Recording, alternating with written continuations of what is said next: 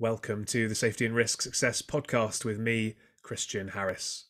My guest today is Simon Jones, who's the head of health, safety, and environment for NRS Healthcare.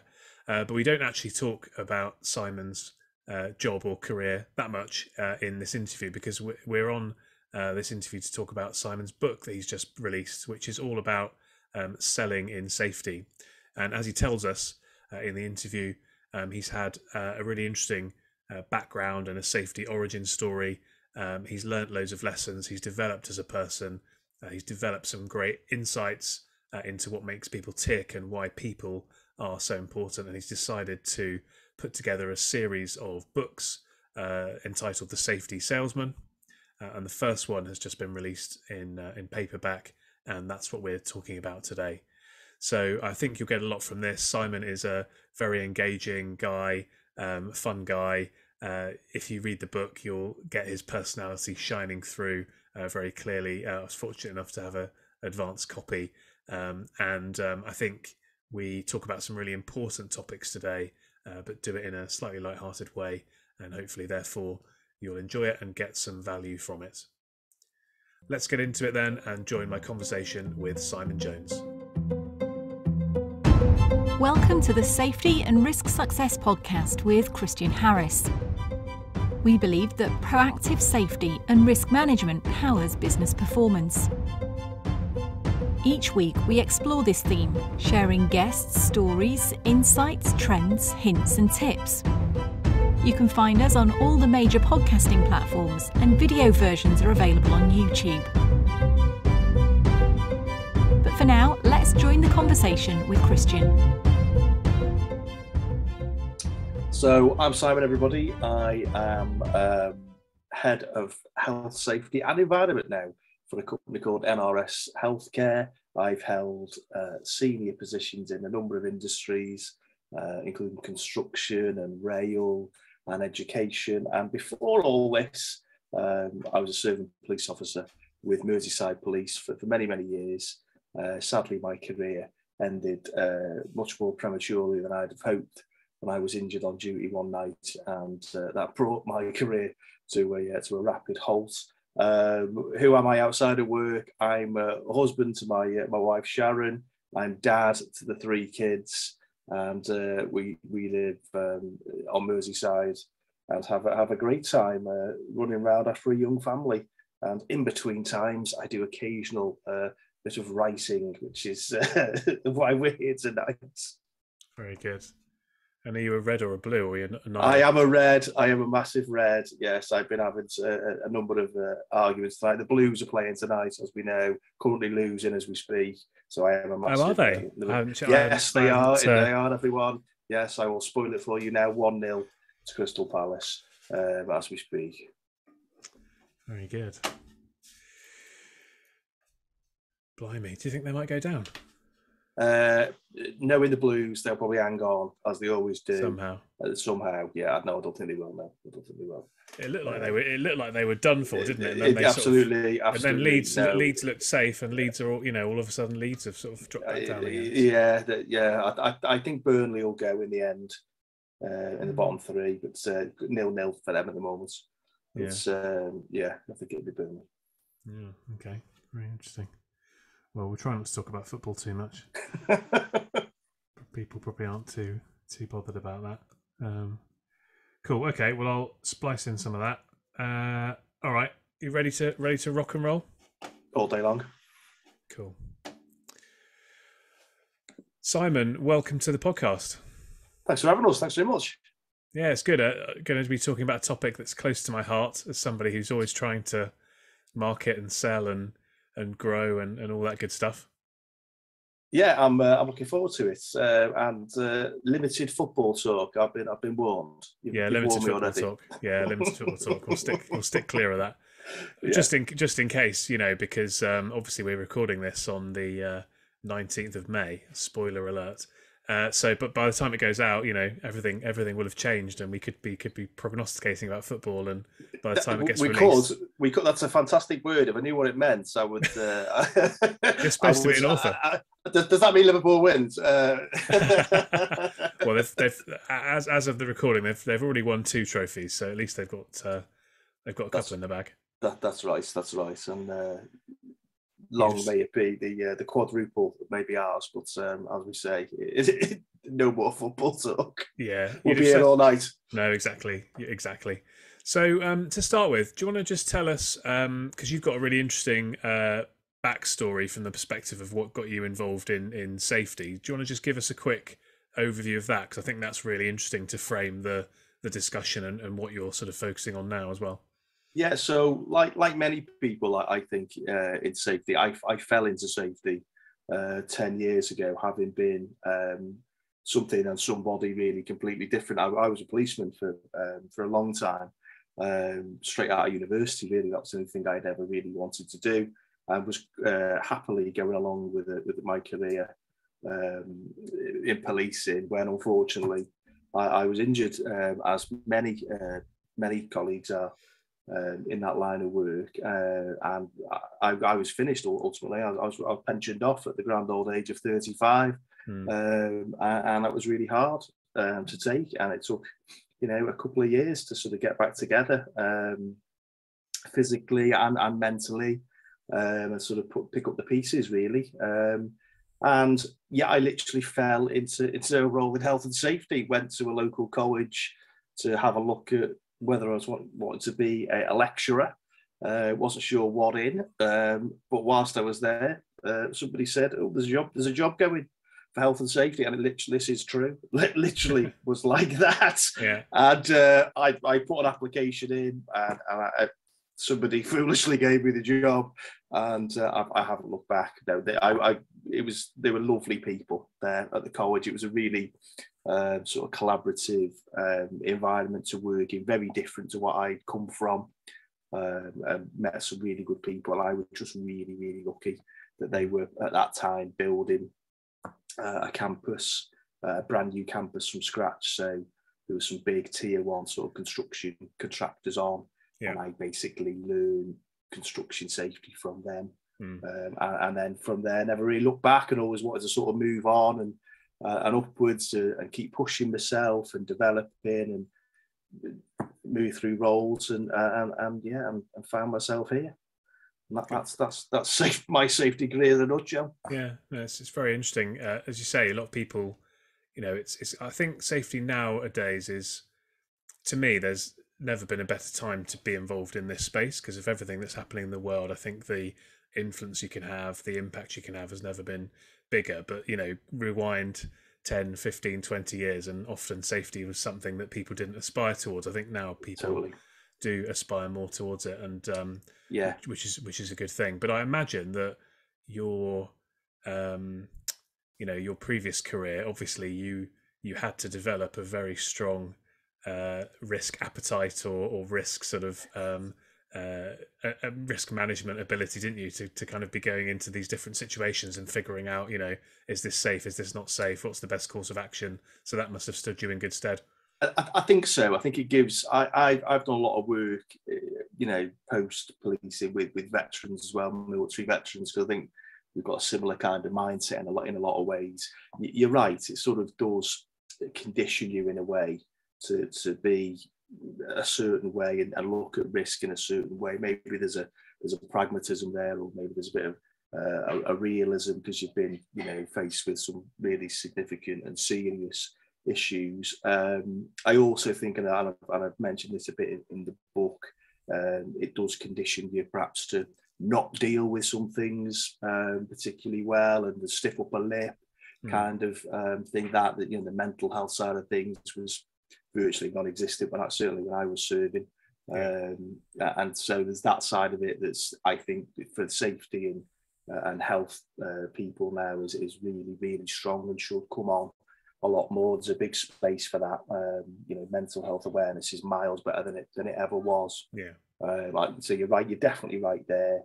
Getting young people interested in it is is really important. I'm really keen on you know, the safety apprenticeships and sort of getting people in, you know, straight from the tree. And let's not sort of just look at safety as a as a second career for, for mm. people and people be like, you know, sort of our age doing it. You know, there's some, some really good young people doing it now who, yeah. who are fresh, who can look at, you know, look at a business and uh, and really operate like holistically. It, it, it's good. You're right. It, it's come on leaps and bounds. And only the time I've been looking at it, mm. miles better.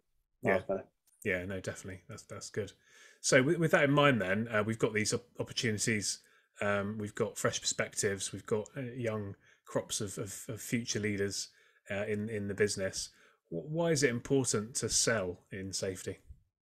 I, I, I came at this from from the mindset that someone said to me once, uh, you know, a long time ago that, and it was it was in a policing context, but it's the safety bit rolls over that you, are ultimately selling something that not many people want to buy, and that that really has stuck with me. That to do this properly and, and effectively, you've got to to sell your ideas so you, you can look more into the language that you would associate with sales and marketing and commercial people really you'd think was a million miles away from safety or compliance or all those sort of connotations you've got to link in with people and sell the idea of what you're saying it's not enough anymore just to go around with a clipboard or a you know, a pen telling people off and telling people no and you know what I say, making people have it on an audit about you know just battering them over the head and all those negative things. You've got to be positive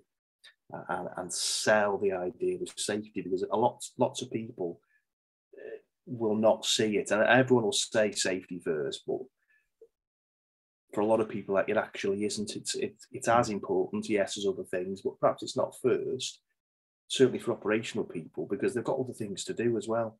Yeah. So if you really need, want to make an inroad with those people, you've got to understand a little bit about where they're coming from. Mm. And policing, certainly in the CID, was very much like that. It was understanding somebody else's point of view, somebody else's mm. perspective. Do you know what I mean? Mm. And it's that, it's those kind of sales techniques. You know, it's it's knowing your product and knowing what what you're selling and how then to sell it. You've got to mm. understand, you know, the why, haven't you? You've got to understand why you're doing what you're doing. And if it doesn't add value, I think you'll struggle. Yeah. There was a book which I haven't read. I, have sort of meant to read it, and it's by I can't. I think I think the guy's name might be Chris Voss, but I, I could be getting it wrong. But it, he was a really top FBI hostage negotiator, Right. Yeah. Uh, and the book is basically telling stories about um, that career and actually trying to learn lessons from, as you've just exactly there said, you know, getting in the mind of the other person and seeing things from their perspective and trying yeah. to figure out a way of uh, influencing them, getting to a mutual mutually acceptable outcome you know which obviously yeah. in that high pressure environment is very very difficult but i think there's so many lessons um, you know from from what you've said and, and your experience and, and that kind of example as well of that we we need to take on board because as you say it's a i use the term a grudge purchase you know nobody wants to buy uh, what I do, for example, really, I um, until it's too late. Yeah, I love it. I'm having that in the next for my next book. I love that grudge purchase. You know, you're right because like when, I, when certainly when I when I finished as well, and a lot, I, I speak to a lot of veterans who are like this as well we find it hard to to readjust in a way or think what the skills I've got are so specialized. What am I going to do with these in, in you know in, in, in the civilian world? Mm. But you you come to realize, or I hope you come to realize that a lot of it is transferable skills. It's just about learning the language of you know uh, of, of, outside of those kind of organizations and a lot of it is to do with that and that that's a sales kind of technique. Grudge, I love that grudge, grudge purchase. I'm having that. Exactly. I, I didn't make it up. I had it. I had it from someone Doesn't else. Matter. I'll take it anyway. yeah, exactly. Yeah, it's all about it's all about inspiration, isn't it? Brilliant, brilliant. Yeah. But that that you know that that's what it's about. It's about that transferable stuff. You're talking there about hostage negotiation. You think, when am I ever going to like be able to use this and anything other than this? You know, very tight parameter but it's not. It's, it's really transferable. There's a hmm. lot of really good people. Jimmy Quinn's a mate of mine, the, the, the ex Irish president, and he wrote the foreword for me. Yeah, I was going to say, did the foreword for your book? Yeah. yeah, and you know, he's, he's I'm not going to say he was thunder, but he's, he's working on a project of his own at, at the moment that is, you know, really like good for that of, of you know, of how to market yourself and be transferable, having spent, you know, most of his, you know, of his life in the military. Um, you know, and he's doing really well. Hmm. And lots of people are. It's very, very transferable, very transferable yeah. skills. Yeah. So, so where do you see then? You've maybe alluded to it a little bit, but where do where do you see that people kind of get this wrong at the moment? You know, what what what are the challenges that you have experienced? You know, where perhaps people have got a very logical argument, for example, but they're not able to sell the emotive side, or, or, or what some other examples of that? I, I, I think, and I, and I, and I picked this up a lot in my sort of early days when I went to sort of like branch meetings and those kind of sort of CPD events. That there was just there was a perhaps an arch typical stereotype of of a safety person, probably middle aged, uh, had spent the majority of their time in the industry in which they worked, and then became you know, it, safety, sort of all the safety person, if you like. They're very good technically, don't get me wrong, really, really, really, you know, full of technical knowledge and ability. But I think perhaps the the shift has been more towards the the communication side. I hate the phrase soft skills, but it's the it's those other things that aren't really taught at the moment in the qualifications. You get loads of people who will do a qualification mm. and you know do really well on it, and then put them in an environment where they've then got to go and translate that that learning or that message. And they and they, they become isolated they become siloed. I think it's because it's a very very um, technical heavy sort of profession this if you like. Um, and it's it's it's the, the the way of communicating that people you know are, are missing out on. It's how to learn the language of, of you know of the boardroom, learn the language of the shop floor. Don't necessarily start a conversation with you know regulations and facts and figures and the CEO is going to go to jail and all this kind of stuff. Because yeah, you, are just going to lose people. You're going to turn them off. Mm. So I hmm. think that's that's perhaps where it shifted. Whether it was whether it was right or whether it was wrong, there's definitely been a shift though in, in the last five years, I would say, to, to really, you know, for the main sort of players to really get on board with this kind of stuff and, and talk more around. And I think that it's mental health awareness has helped this a little bit as well about how to, you know, because it's it, it's hard being in this game because often you feel on your own, mm. um, even if you work in a team, because it's a it's a hard thing to be. I, I I've done a bit in, in HR as well in the previous role, and that's a similar kind of role where you can always be adversarial against the rest of the, the workforce of the organisation, and you know, there's there's a way of doing it, and I think it's very much centred around being people focused. And I don't yeah. think I don't think safety was that before. It was, you know, regulatory focused. Yeah, yeah. Before. That's my idea. Yeah, I think that um, an analogy I, I often use that, that is pretty powerful and it seems to get this message home is of a, of a GP. So think of a GP and you, you know they've got to have huge amounts of technical knowledge, but what they don't start doing is sitting down and and quoting you know um, yeah. textbooks and um, you know uh, sort of uh, statistics of of um, uh, operations and and all this kind of stuff to you. They they kind of they use that technical stuff, but actually it's the soft skills. And I and I, I know what you mean about not liking that phrase, but actually it's a phrase everyone understands. Yeah, I think this yeah, is yeah. one of this is one of the points I, I would make here is actually you've got to you've got to make stuff you've got to make stuff very clear to easy to understand. So actually it's better to use phraseology that that is easily understood because obviously what you don't want is you know to start talking about in sort of semi gobbledygook, and then you lose people because they're thinking, what exactly does that mean? And you know, so I think the plainer the language and whatever. But yeah, yeah it's about that bedside manner, isn't it? There you are. Yeah, perfect. That's perfect. Bedside manner. That, that's you, you know, nick that one as well. Oh, all day long. I'm a scouser after all. Um, that, that, that's exactly it. And it, you know, I would say like when I went to university, it was a massive difference in being lectured at. You know, some of them would just come on and just open the book and just talk at you, close the book and be gone. Uh, you know, teachers, trainers, if you like, are much more interested in, in the development of you and the understanding of you. But the doctor one is perfect. Yeah, a, bed, a bedside manner. That that's really good. I'm having that as well. Yeah. I can see you writing all these down. It's, it's, it's, it's like I'm being plagiarised in front. Well, in front well, who'd have thought it? Yeah, I, I, have to say, you know, a lot of these, a lot of these, um, a lot of these uh, so-called insights that I have actually are, are, mostly learning from from other industries, and you just think actually that applies. And like we said about the hostage negotiation and other things, it's actually well, how does that apply to me, and how does that? Because it all makes you know, if you've got something that's that's quite clear and simple, and it will make and it makes sense yeah. and it transfers, it's just about how you communicate it, isn't it? It, it is, and they mu- and they must talk about it because you, you bang on there with certainly with the GP one.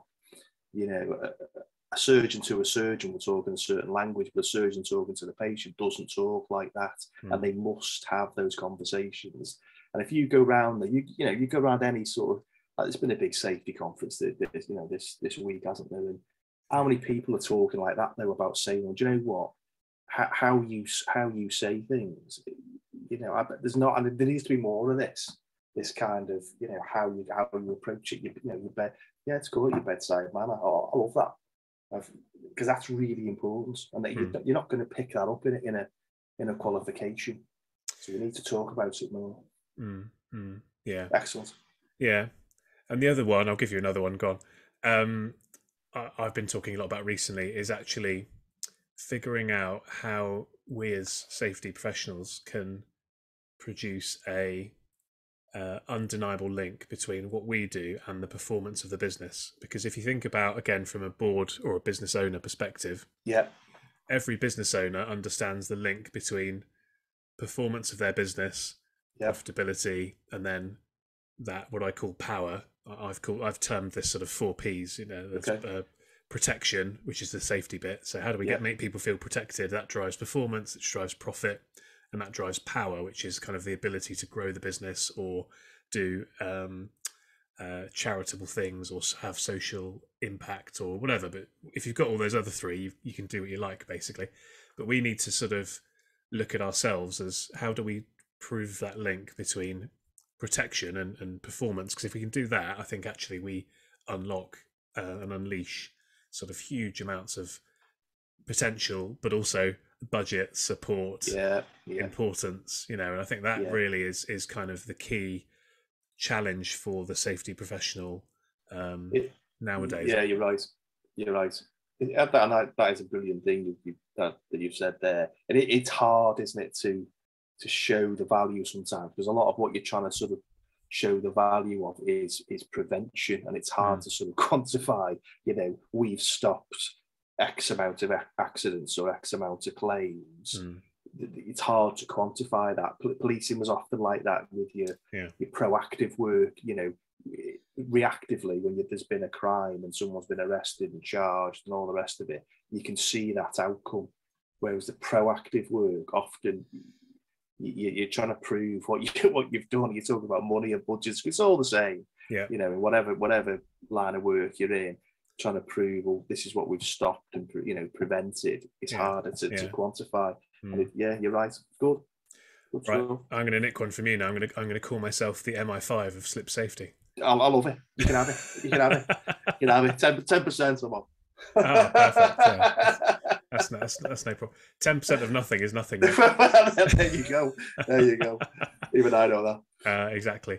So, um, so, so with that kind of context, then, um, how does the book help? You know, what's what was the idea behind the book, and how does that address some of these points? And uh, obviously, it's not an academic book. You know, go no, back to what I said, but it's not. designed to be obviously helpful and thought provoking and interesting. Yeah. And you know, so t- tell us a bit about kind of what led you to to write the book, and how does it kind of seek to address some of these uh, some of these points that we've been talking about. Do you know what? I, I've been thinking of writing a book for a very long time, and I've sat down um, many times and tried to write one on what predominantly I, I obviously I've come from, which is you know from policing, and it, it, was it just wasn't getting anywhere to be honest. And it was sometimes it was fiction, sometimes it wasn't. Um, so I've always been interested in writing. Uh, much to my parents' dismay, I didn't go on and do something sort of literary in the first place. So I've always been sort of that kind of You know, I like music, I like, Mm. art and books, that kind of stuff. And um, so, what I did during the lockdown was I actually thought about sitting down and, and writing some blogs, Mhm. which again, you know, being a complete technophobe as I am, um, the, the, the kids showed me how to do it. I just started blogging and I had like uh, just titles really that I just started to blog out. So, so I wrote a couple of blogs on on my LinkedIn page again. Went, went to a to a, a conference one day and it was all about personal branding and all this kind of stuff. Um, again, stuff I had no idea about. I didn't have a CV, by the way, when I left the cops. I didn't have Yeah. a CV, never needed one. Didn't know it wasn't on social media for obvious reasons, nothing like that. So this was all new. I've had to learn all this. So I was writing these blogs, and they were doing all right. I was getting quite some quite good feedback, mostly from veterans who understood the humour and understood perhaps some of what I was trying to say. Hmm. And they were they were more sort of they were safety related to a degree, but they were very tongue in cheek.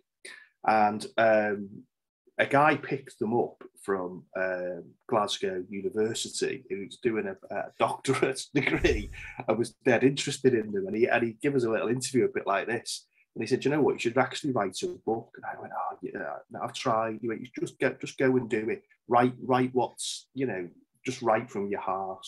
Hmm. So I basically did.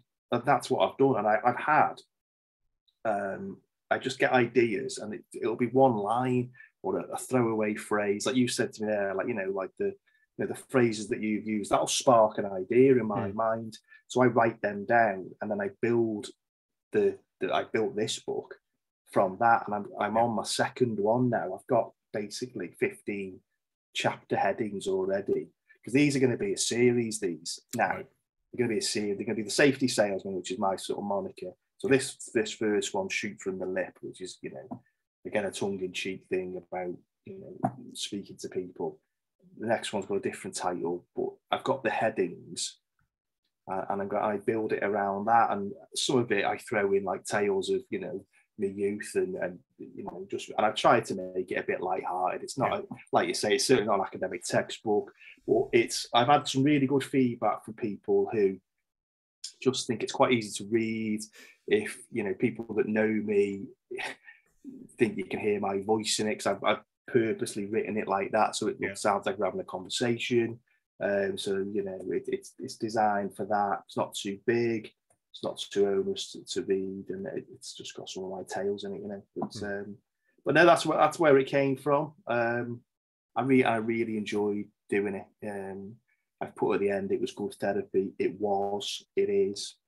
Um, you know, and it, it, I encourage people to do it. A, a really good sort of compliment again. You know, not to name drop him like, but you know, Jimmy Quinn there.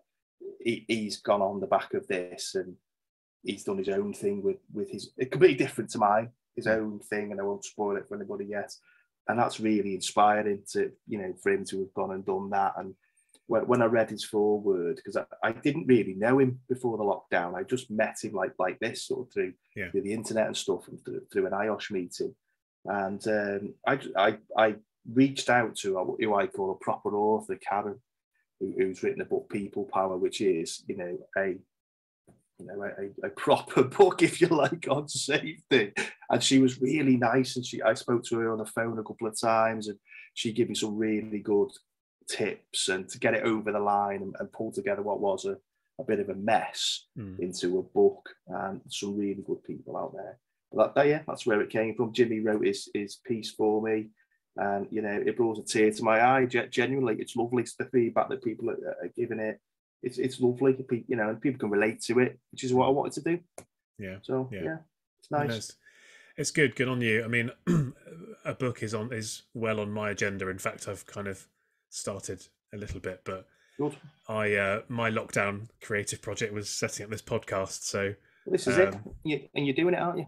yeah, doing it, get approaching episode 100. So uh, yeah, managing Fantastic. to manage to do it every single week. So, I think it's great. somehow. I think I, I think it's ace. I think it's really good. There's, there's loads of people doing, you know, really good stuff. Like you know, I I, I couldn't do this because I I wouldn't know where to start. So like Karen said to me, you know, tell your truth. Hmm. So I, I found that was my sort of format. This is yours. You know, Yeah. there's some really good creative people out there that you Mhm. wouldn't necessarily associate, you know, with it. But no, good on you. Yeah.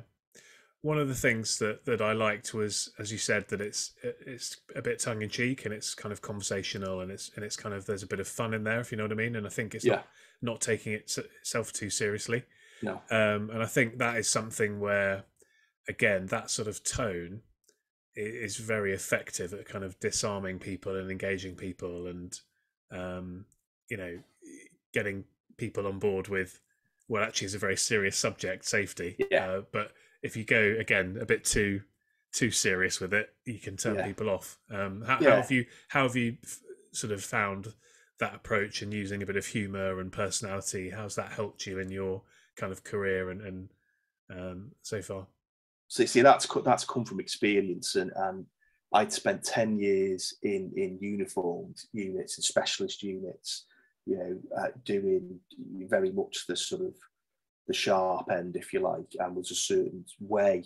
And then when I went into CID, it was a completely different way of, of sort of being. And you're right there, it's disarming people and it's using humour, it's using um, language to speak to people and interview people. And I learn off really, really good people who, at, times, I would wonder where is this interview going because it was like going around the houses. We were talking about nothing to do with like what I thought we'd be doing.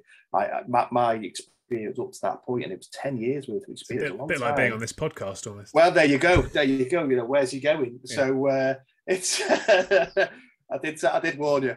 Um, you know, it's about you know, you know, going going around the houses, and you've got to you've got to duck and weave, and you're right. There is a way of um, of speaking to people, and that that's where I've come from with this. Hmm. I've learned it through experience. I'm probably getting it wrong in my twenties you know, to a degree. I, I wasn't like this necessarily in the twenties. I was, I was always like into the, what I was into, but Yeah. my approach to work exactly was was more like the other side. Whereas now, you know, I'm much more confident and comfortable. Just to, you know, we'll have a conversation about it. Could be anything.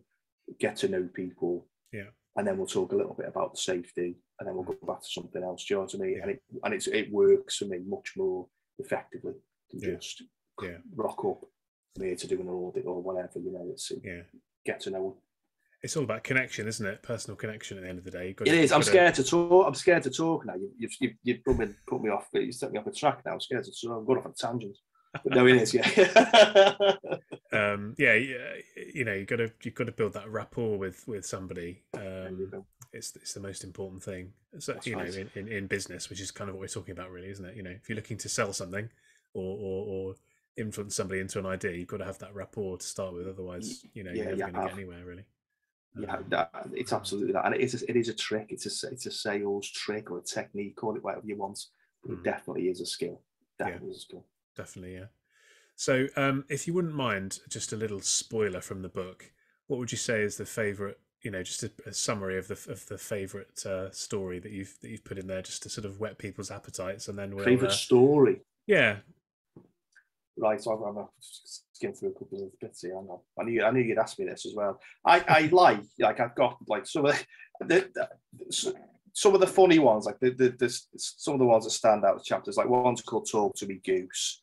You know, it's obviously a Top Gun reference. That that is all about communication. That that grabs people's attention. I do like that one. That's that's how to speak to people. I what my my favorite one. It was one of the first blogs I ever did. Was they basically expanded it was the next chapter. It's called "Don't Wait for Your Ship to Come In," um, which again is a is a is a, a quote from Barry Sheene, the, the motorcycle racer. That that's a very personal chapter. That is about not again. It's not safety related directly. It's about not sitting around waiting for things to happen Mhm. to you, uh, which is what I've never really done. Um, you know, it's about going out there and getting it, being positive, having a positive mindset. Uh, don't expect things to come, you know, to you just because you want them to. Uh, you know, just because you've sat, I don't know, a NEBOSH diploma, that you're going to go and necessarily, you know, get a good job somewhere because you know you need to go out there and and do a bit and find it. So that that's a very personal chapter that I like.